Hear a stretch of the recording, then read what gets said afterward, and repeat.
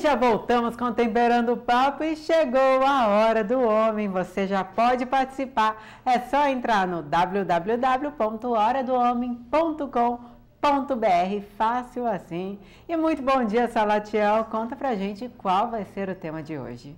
Ariane, hoje vamos falar de um assunto muito interessante. Você, é, de repente, estava esperando essa oportunidade. Vamos abordar o tema infertilidade. E hoje aqui no estúdio o Dr. Cláudio Guimarães, urologista, e o Dr. Gustavo Jimenez, eh, endocrinologista, para tirar as suas dúvidas. Já pode participar conosco através do nosso site horadohomem.com.br. Dr. Cláudio, Dr. Gustavo, sejam bem-vindos. Obrigado, Salatiel. Doutor Cláudio, quais as causas eh, da infertilidade, se tratando especificamente do homem? Então, é, Salatiel, é, é importante as pessoas saberem que a infertilidade atinge 15% dos casais, no total. É, sendo que metade é, é, a causa é masculina e a outra metade a causa é feminina. Falando de infertilidade masculina, a principal causa de infertilidade masculina se chama varicocele, que são nada mais do que varizes, como se fosse varizes de, de membro inferior de perna, só que no escroto, tá? No testículo. E essas varizes, ela, ela provoca um aquecimento do testículo e aí atrapalha a espermatogênese, a formação dos espermatozoides. E aumenta o excesso de radicais livres e aí tem alteração de, de quantidade, de motilidade e até do aspecto, que é a morfologia do espermatozoide. Aqui no programa, o nosso foco é o homem, tanto que chama Hora do Homem, mas esse é um assunto é, que é um assunto do casal. Uh, você explicou a causa da infertilidade no homem. É, bom, mesmo sendo urologista, né, especialista em saúde masculina, na mulher, é, tem como precisar mais ou menos o que, é que acontece? Porque Sim. elas vão ficar mandando perguntas. Sim, existem três principais causas de infertilidade feminina que é a distúrbios ovulatórios, no qual a mulher ela não, não tem um, um, um ritmo de é, ovulação adequado, ou seja, ela não menstrua, ela passa meses sem menstruar. É muito comum em mulheres que têm síndrome dos ovários policísticos. Uma outra causa de infertilidade seria a endometriose, que em muitas mulheres causam dor, tá? sofrimento, a mulher precisa interromper a menstruação para não ter dor. Essa é uma, da, uma das principais causas de, também de infertilidade feminina. E fatores tubários. O que, que é fator tubário? Fatores que. doenças que acometem a tuba feminina, tá? Que pode ser uma, uma, um, uma bactéria através de contaminação sexual que chega, se aloja na tuba e causa alteração no, no, no, na funcionalidade da tuba.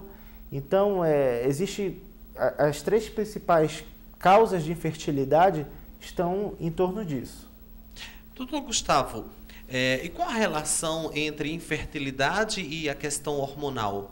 Então, além da varicocele, que é a principal causa, principalmente no homem, da infertilidade, também algumas alterações hormonais podem levar à infertilidade. Por exemplo, a a hipófise, que é uma glândula que fica no cérebro, produz dois hormônios, o LH e o FSH.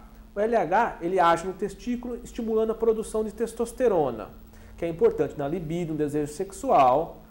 E o FSH age na, na maturação, na produção dos espermatozoides. Então, se houver uma baixa de um desses, desses hormônios, vai haver também um problema ou de disfunção sexual e ou de infertilidade também.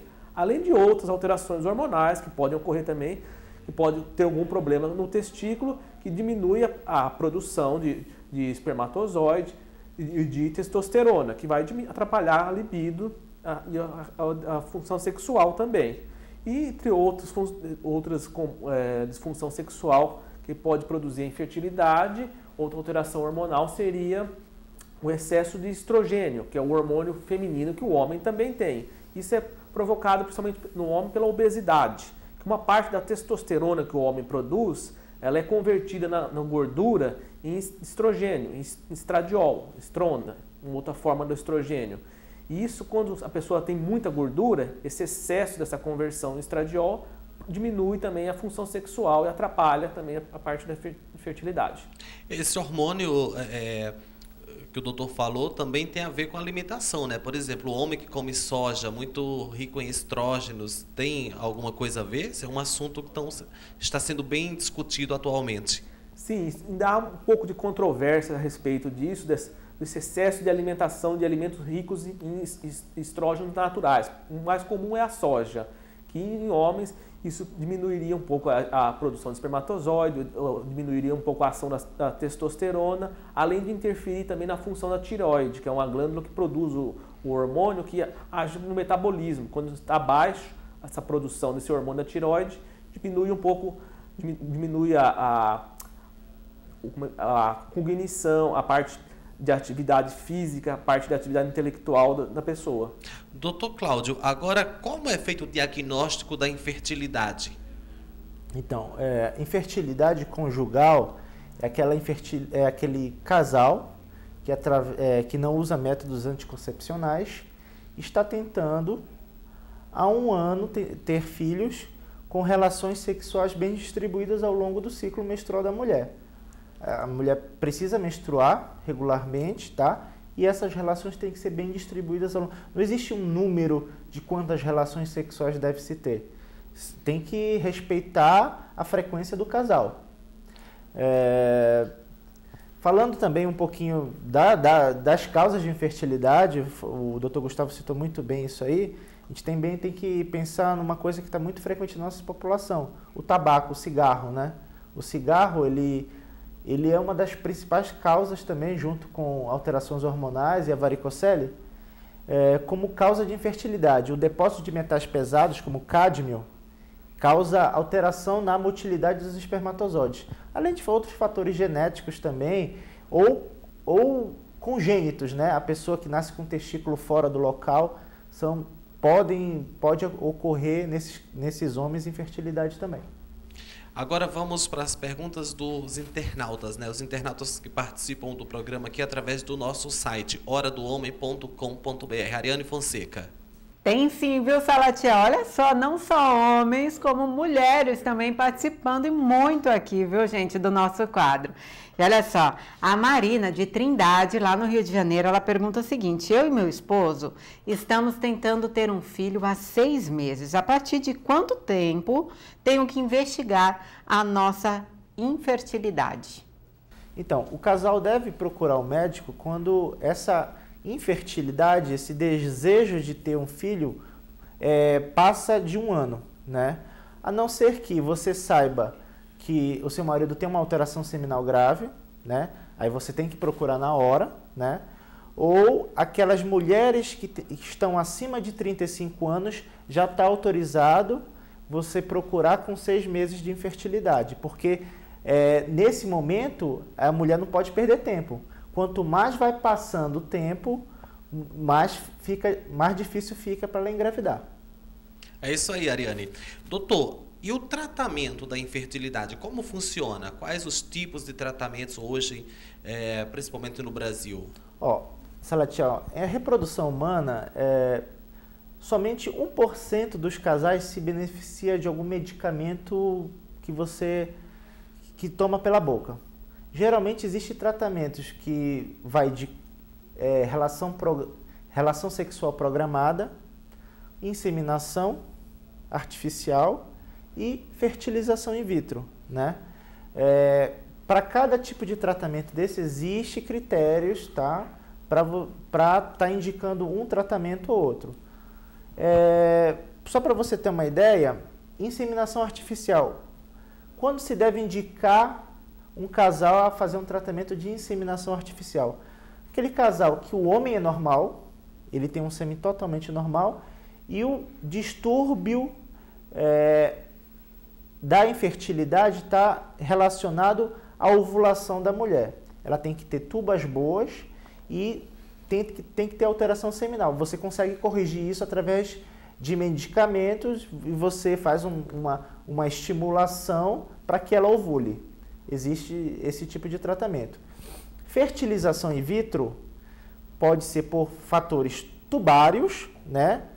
é aquela fertilização in vitro clássica, no qual você aproxima o sêmen e fertiliza aquele, aquele espermatozoide dentro, uh, fertiliza aquele espermatozoide que é o melhor, é uma seleção natural, ou aqueles homens que têm alteração seminal grave, no qual você injeta dentro do óvulo o espermatozoide.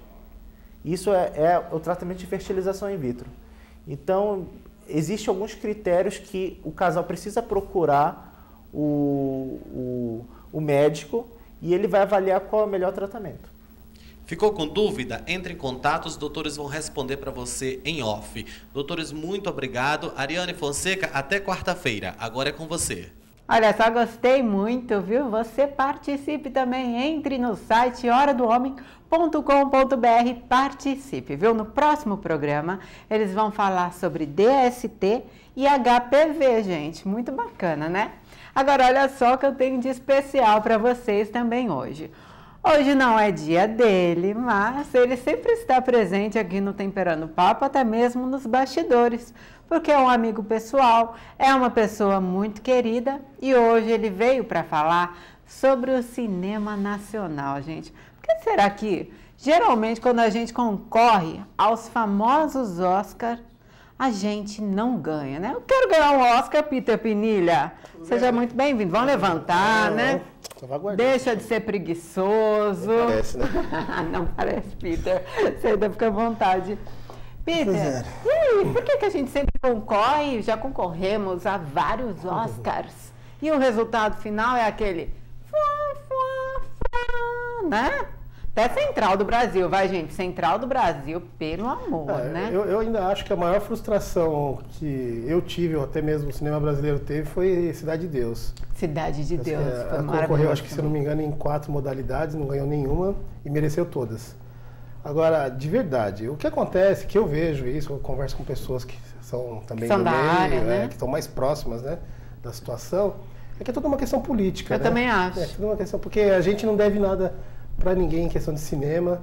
Se você acha que Fernanda Montenegro vai concorrer com alguém, gente. vai perder para alguém? Maravilhosa, é possível, né? É possível, Fernanda né? Montenegro. Não tem o que falar então, daquela mulher, então, impecável. Você acha que a, a, garota que foi a protagonista do Shakespeare Apaixonado, me, me esqueci do nome agora, ela ganha, ela é melhor que a Fernanda Montenegro? Demitido. Não tem problema. A, a, Fernanda Montenegro, a Fernanda Montenegro também não ganhou o Oscar. Então, aquilo ali foi absurdo, né? Sim, Ela não ter ganhado. Então, acho que é isso. Acho que é mais uma questão acadêmica norte-americana que realmente foca na indústria uh, americana mesmo de cinema, que parece que é a segunda ou a terceira indústria do, do, do país, em, da, da, forma comercial mesmo. Eu é, acho eles que, investiram então, né? primeiro lugar acho que é petróleo, segundo acho que é automobilística, terceiro já é cinema, mas é uma coisa assim. É. Então, Eu imagino você... que seja mesmo, porque querendo ou não é um marketing mundial, né? É, então todos os países que são capitalistas, aí a gente vai entrar em política mesmo, né? Todos os países que são capitalistas sim, têm lá os filmes hollywoodianos. Tem que incentivar o capital né? deles mesmo, né? Claro, e aí a gente vai gostando dessa cultura norte-americana, trazendo para nossa vida, para o nosso dia a dia, aí a gente, aí a gente usa as roupas que Sim. eles usam, os produtos que eles usam, e aí a gente começa a, a conviver de maneira a maior prova parecida, disso, né? ó, veja só, o cinema europeu, o cinema europeu não é um cinema blockbuster, né? Ah, não, mas é tão É um cinema mais sensível, mais delicado, mais Filmes artístico. Franceses. Pois é, então. São ótimos. Então, quem aprecia mais cinema, que gosta da arte, do, do fino da arte? É, pouco assiste cinema americano. Tem coisa muito boa americana também, mas, ah, eu gosto. mas o cinema europeu ele é muito mais refinado, um pouco mais intelectual. Você vê, esses filmes que a gente acabou de falar, que não ganhou o Oscar, se encheram de prêmio na Europa. Ganharam o Urso de Prata, ganharam o Festival de Cannes, e aí? O que, explica chegar lá na academia em americana e não ganhar nada? Ganhar, né? Então, é isso. É realmente uma coisa que a gente tem que se conformar e não ficar frustrado, né? Agora tem o filme da Regina Casé, quando ela volta. Será que vai ganhar? Então, ele está concorrendo a uma vaga para concorrer ao Oscar, né? Ainda não entrou, Acho né? Ali na filinha do Oscar. É, tá em janeiro, tá subindo os degrauzinhos. Nossa, né? mas é legal, motivo de orgulho, né? Não, então, exatamente. Se a gente levar em consideração que existe toda essa parafernália política, mas você está ali botando a cara na vitrine, meu e não tanto investimento brasileiro como comparado ao americano, não, né? É, é, não chega nem aos pés. A gente utiliza retorno, né? a nossa criatividade mesmo, né, é, Peter? É, é o retorno, né? Claro. Aqui, aqui o, o, Brasil tenta, né? incentivar com a Lei Rouanet, mas comercialmente tem pouco retorno aos filmes brasileiros. Né? Não é igual lá. Lá o investimento de 200 milhões vira um bi Fácil, né? na hora que finalizou o filme. É. Bom, Mas não fica triste, tá? Sobre- não tô triste, não, tô feliz, relaxa.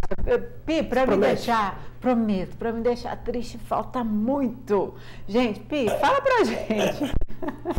por que, que os filmes nacionais, por que, que a gente não investe em filme de terror? Ou, ou, aliás, o cenário, assim, praticamente mundial, porque eu não gosto muito de filmes de terror, você sabe, né? Eu tenho um pouco de medo. Mas assim, o que a gente vê, o terror mesmo, o suspense é muito bom. Uhum. Suspense é excepcional. Mas por que, que aqueles filmes de terror, até americanos e os nacionais também, aquele filme que sai sangue, que é terrível, que a gente vê que é falsidade, que não é real, que não dá nada de medo, né, gente?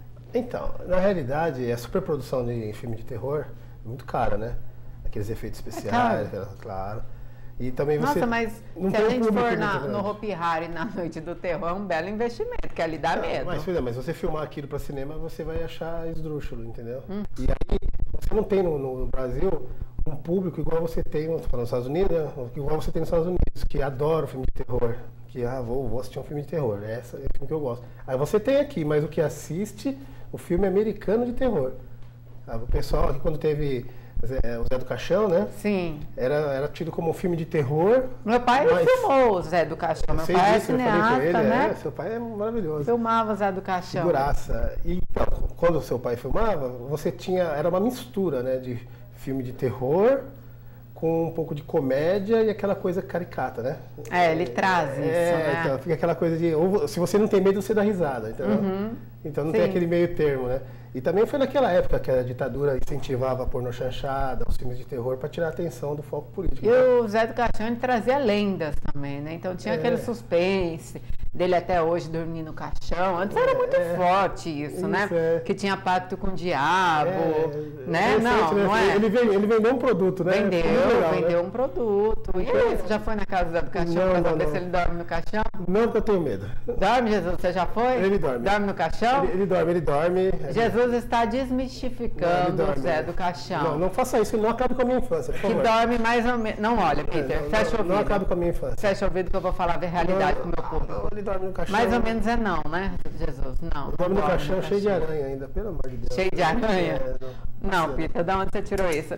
Peter, vamos investir no nosso cenário de humor? Porque, assim, o brasileiro, eu- a gente tem realmente esse talento, né? A gente vê séries incríveis na televisão brasileira, nem todas chegam à TV aberta, né? Nem todas, mas a gente pode ter a possibilidade para quem tem a TV paga, ou até mesmo para quem entra no YouTube aí, que já virou mania mesmo, Não, né? Então, já que você falou disso aí, eu tenho uma coisa bacana pra falar. Vou mandar um abraço pro Manuel Rangel, Ah. Manuel que querido. é uma frente da Ancine, né? Beijo. E durante esse- essa gestão e as outras três gestões que ele fez presente na Ancine, eles criaram, né, com, com a aprovação do governo, uma cota obrigatória de produção brasileira, mesmo nos canais internacionais, mas Hum. Super nos canais pagos. interessante, sim. Então você pode perceber, às vezes você coloca no- nos outros canais Warner, Fox, É, esses canais, GNT. você vai ver produções brasileiras Sim. misturadas com as produções internacionais. Né? Isso é muito bacana, né? Claro. E essa revolução eh, faz um incentivo para a gente fazer produção brasileira, vai dar muito, muito emprego para os artistas, para os técnicos, para todo mundo, não é verdade? Sim. E você está envolvido em uma que depois é surpresa. Eu contar. envolvida? É, conto. coisa boa. O Peter, gente, o Peter prepara surpresas pra mim, assim. Vocês não sabem, ele só me comunica, viu? O ruim é. É. que às vezes ele me comunica e esquece de me comunicar antes, o final de semana eu, né, Peter, eu tenho agenda, É, né? nem ligo. Eu Não liga, né, cara de pau? Vamos derrubar essa agenda aí. Peterzinho, sexta-feira vai estar aqui com a gente? Com certeza. Trazendo um novo filme? Uhum, mais, duas, mais dois filminhos aí para você se divertir. Tá, isso mesmo, Cine Pipoca, Uhum. gente. Ó, Cineminha um- nosso do final Um de semana. filminho para a família. Tá. e um filminho pra gente que sempre pensou no medo que é a montanha do Everest. Montanha da Everest. É, você vai gostar Chega aqui, muito. me dá um beijo, eu vou ficar curiosa aí pra essa surpresa. Gente, bom. Rápido assim, sempre É rápido, bate-papo bom é rápido, viu? Gente, você que está assistindo o programa, quero agradecer a sua companhia, viu? Pra você que gostou do meu look, eu visto Young Age, viu? Fica localizado no Mega Polo, segundo andar. Olha, gostou? Gostou, Peter? Tô bonita? Muito, muito. Bonita. Tá Então, entre no site e confira. Tem uma página no Facebook só pra você, viu? Facebook barra Young Age, como está escrito aqui. É claro que eu quero agradecer o seu carinho. Mais um dia, a sua companhia. Eu te espero amanhã, é claro. Eu espero que você tenha gostado do programa de hoje, porque eu te prometo, o programa de amanhã vai estar imbatível. Beijo, até amanhã.